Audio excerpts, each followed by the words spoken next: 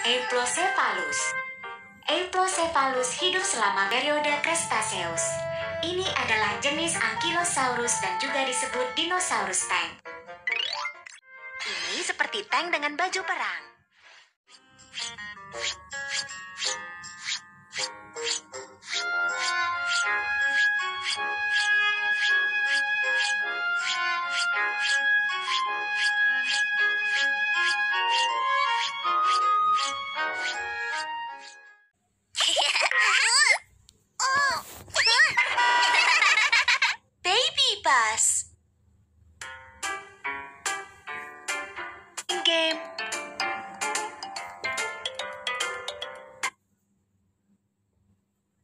Petarung dengan baju perang keras.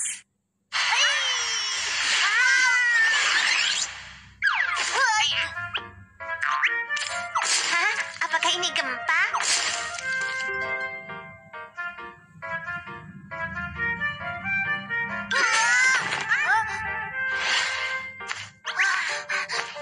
Kiki, ada kura-kura besar. Itu bukan seekor kura-kura. Ini adalah dinosaurus dengan baju perang punggung. Ayo kita cari tahu namanya. Waktunya belajar. Kabel cerdas, aktifkan.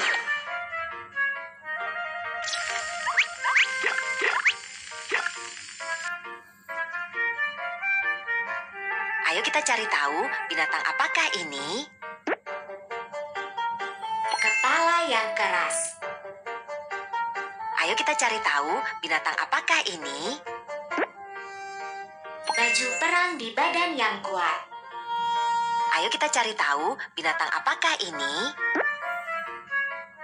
Pentungan bertulang pada ekornya. Anggota tubuh pendek. Euplocephalus. Euplocephalus hidup selama periode Cretaceous. Ini adalah jenis Ankylosaurus dan juga disebut dinosaurus tank. Kenapa ini disebut dinosaurus tank? Lihatlah. Euplocephalus memiliki baju perang yang keras di kepala dan badannya untuk berlindung. Ini seperti tank dengan baju perang. Apakah Euplocephalus menembaki musuh-musuhnya sama seperti tank? Tentu bukan. Tahukah kamu cara Euplocephalus menyerang musuh-musuhnya? Dia menyerang musuh-musuhnya dengan ekornya. B. Dia menabrakkan kepalanya ke musuh-musuhnya. C. Dia menggigit musuh-musuhnya hingga jatuh.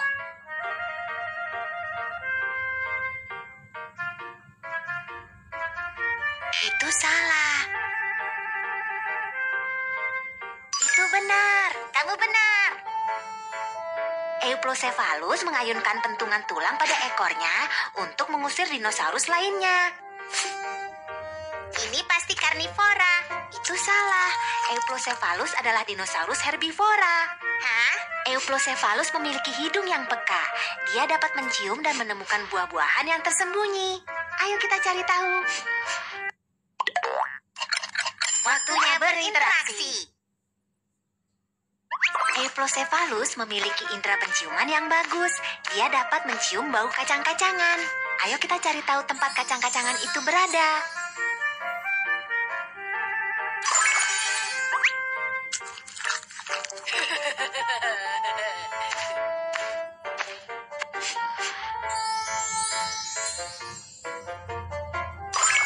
Euplocephalus dapat menggali kotoran dengan mudah untuk menemukan kacang-kacangan dengan anggota tubuhnya yang gesit.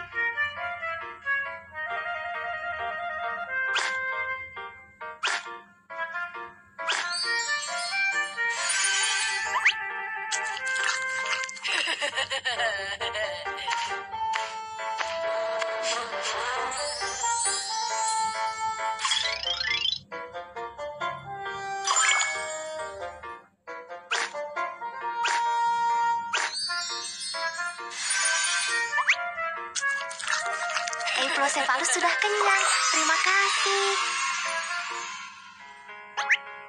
Koeki, apa yang telah kamu pelajari tentang bagian ini? Euplocephalus memiliki baju perang tebal di punggungnya. Dia memiliki pentungan bertulang pada ekornya dan indera penciuman yang kuat. Kamu benar. Ayo kita lanjutkan.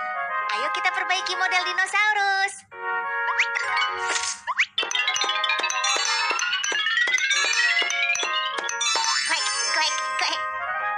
Anak-anak, apakah kalian paham?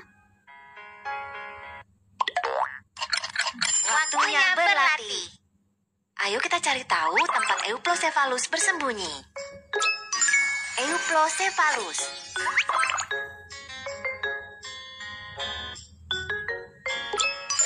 Euplocephalus.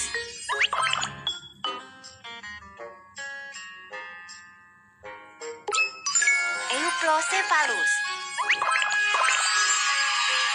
Dapatkah kamu menyatukan Euplocephalus?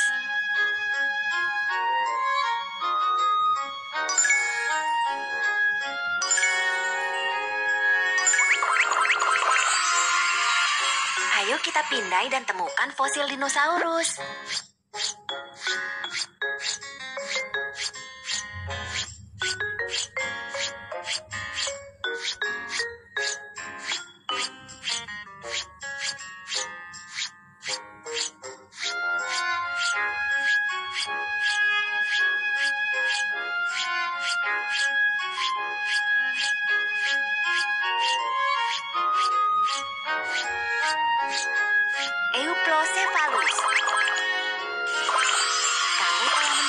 Kursus. Kerja yang bagus.